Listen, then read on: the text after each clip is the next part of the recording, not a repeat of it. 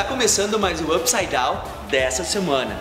E hoje no programa eu vou mostrar para vocês uma linha super diferenciada de lançamento do meu parceiro da Brolho Iluminação. Então, curta o programa hoje que vocês vão ver umas luminárias maravilhosas. Vamos lá? Agora vocês vão entender um pouquinho porque eu trabalho com meu parceiro aqui da Brolho Iluminação. Essa linha que eles lançaram agora é uma linha super inusitada, que é uma linha em cobre, que é bem interessante. Então, olha só.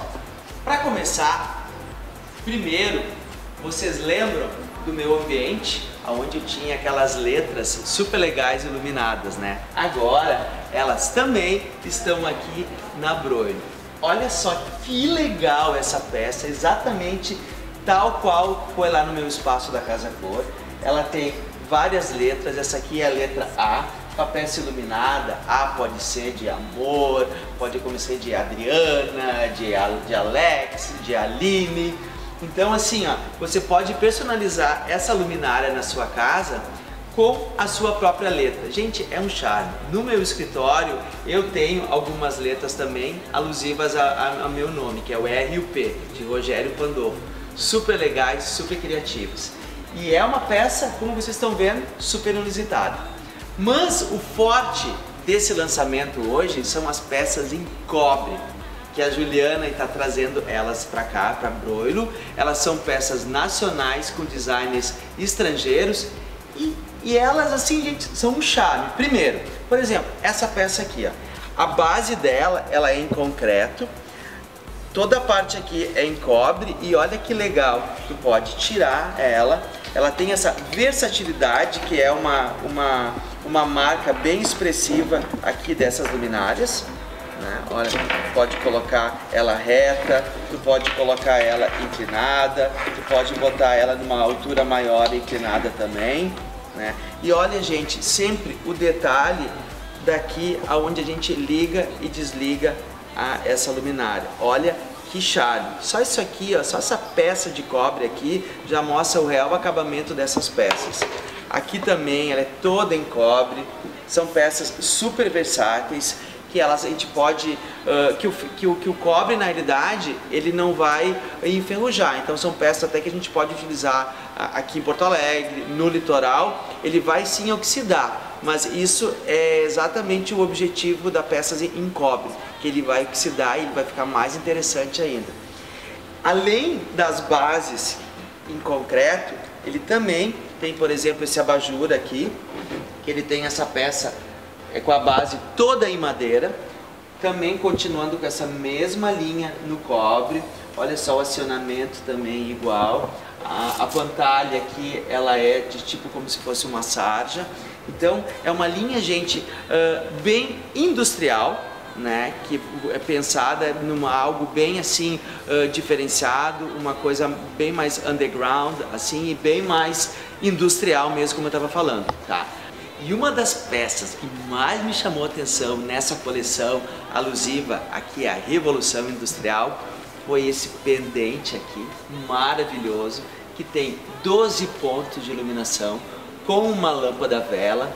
E o legal desse pendente, além de todos os acabamentos em cobre, a junção deles, e linda com esses seis tubos aqui que ramificam em 13 e 3, é a versatilidade dele. Por quê?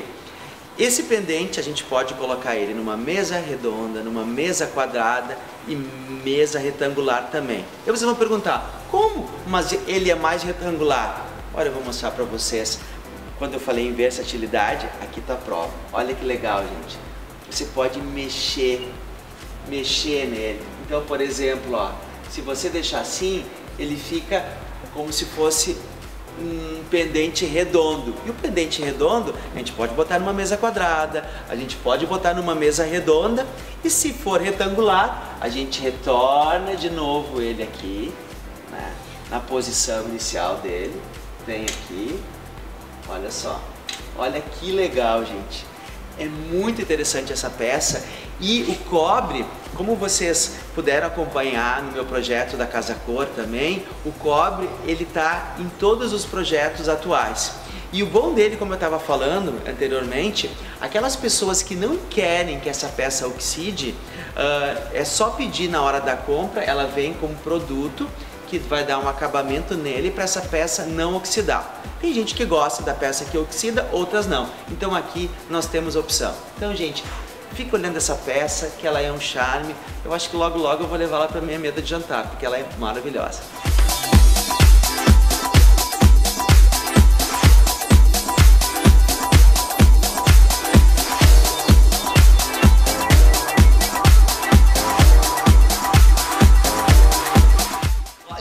Gente, que legal.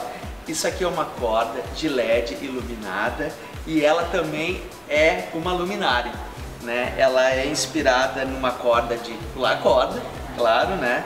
Então aqui está o acionamento dela, ó, liga, desliga. Ela estava esse ano no espaço do, do, do Sandro Javisnevski, lá da, da, da Casa Cor. Então é uma peça super legal que a gente pode colocar ela ó, em cima de uma mesa e tal, e a gente pode brincar com ela. Ó. A gente pode brincar e ela também ilumina. Fica super interessante também ah, do lado do criado mudo, que ela tem uma, uma luz mais tênue, né? E, e essa peça eu achei muito divertida, muito inusitada, que também é lançamento dessa mesma linha.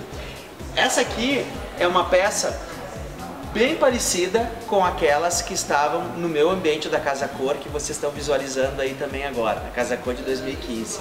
Eu tinha três dessas aqui e o legal dela também, ó, que é, olha só como é a diferenciação do bulbo dessa lâmpada. Ela tem toda uma, uma, uma linguagem diferente na própria lâmpada. Então isso que é legal hoje em dia. Com é- essas lâmpadas de LED, a gente pode fazer essa brincadeira. Então hoje em dia a lâmpada também está fazendo parte da luminária. Antigamente a gente queria esconder a lâmpada, aqui a gente está querendo mostrar, né? Olha só que legal, gente, essa coluna aqui também, que estava na Casa Cor no Espaço do Sandro esse ano. Olha só que legal, o liga, de- liga dela também é aqui, é uma peça mais reta, com a base de madeira, que também eh, compõe com qualquer eh, pendente que nós estamos utilizando. Essa linha é uma linha super versátil, então todas as peças se, se conversam, né? Olha só uma coisa que eu vou mostrar para vocês agora. Olha que legal essa peça aqui, gente, ó. Essa peça já tem a versatilidade que é marca dessa linha, mas olha só que legal, ó. A gente pode botar em cima de uma mesa de escritório, pode botar num outro formato assim também, pode, pode fazer uma, uma brincadeira com ela, deixá-la de canto. Então, ela é uma peça com uma diferenciação super legal né, inusitada e também o liga desliga dela, o acionamento está aqui e ela parece até uma cobra porque ela tem ela tem o cobre e aqui é preto, cobre preto. Então dá, dá a impressão mesmo que é uma cobra, gente, subindo na nossa mesa de trabalho. É muito legal. Então o design, gente, é isso. Peças tem que ter essa diferenciação na qualidade dela e no estilo. Né? Então essa peça aqui combina, por exemplo, com esse pendente, com vários outros. Olha que legal. Fica com umas imagens um pouquinho dela.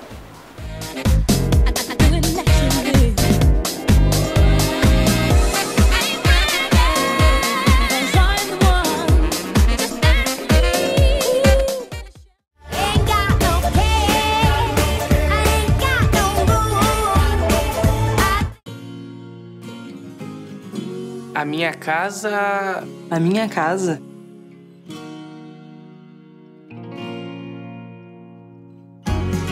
Minha casa tem que ter alegria, Tem que ser sem hora pra ir embora. Tem que ser muito moderna. tem que ser cheia de vida. Tem que ser compartilhada.